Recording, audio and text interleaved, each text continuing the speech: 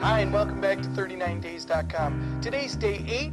It's Monday, March 16th, and let me tell you, I'm making every day like Friday and every Friday like Christmas, and I'm not giving up until I'm 109 pounds. I'm doing it, and I'm doing it even if it kills me. I'm 271 and a half pounds. That's 2.5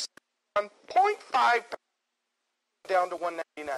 I set a goal back in February to be 199 pounds. And one of the things I use to help me with is my goal worksheet. I posted a goal worksheet here on the blog. Click on the link, print it out, and get started.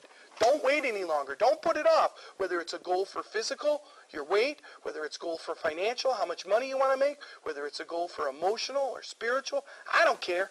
Just set a goal. Write it down. Follow the seven steps here in the goal setting. I mapped it out for you line by line, number by number. It's easy to do. Even your kids should do it. You know what?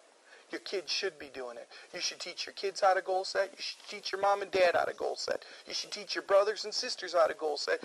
Teaching your neighbor how to goal set. Because I'm telling you, an unwritten goal is only a wish. And last time I checked, wishes don't work.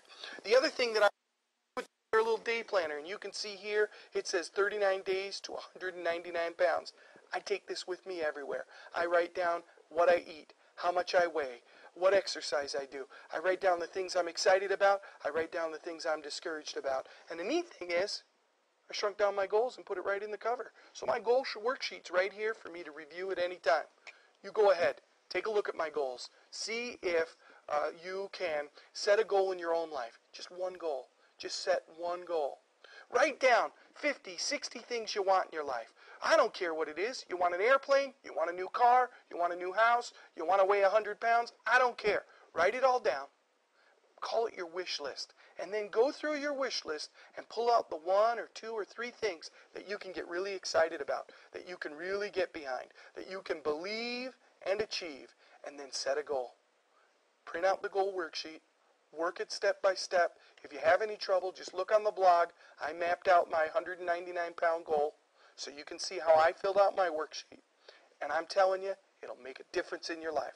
I'm excited. I'm excited that it's day eight. I'm excited that it's Monday. And I'm here to tell you, you too can make every day like Friday and every Friday like Christmas.